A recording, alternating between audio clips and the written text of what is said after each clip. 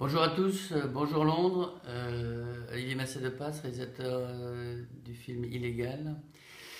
D'abord, désolé de ne pas être avec vous ce jeudi 2 juillet, mais malheureusement j'avais déjà quelque chose de prévu. J'aurais préféré être avec vous, c'est sûr, parce que j'ai toujours suivi ce film. j'ai fait plus de 100 dates avec ce film dans les collèges, dans les écoles, donc c'est très important pour moi que Illégal soit.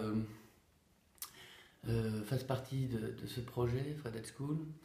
Donc euh, je suis très honoré, euh, très déçu de ne pas être avec vous. J'espère que tout va bien se passer et, et bien après une prochaine fois.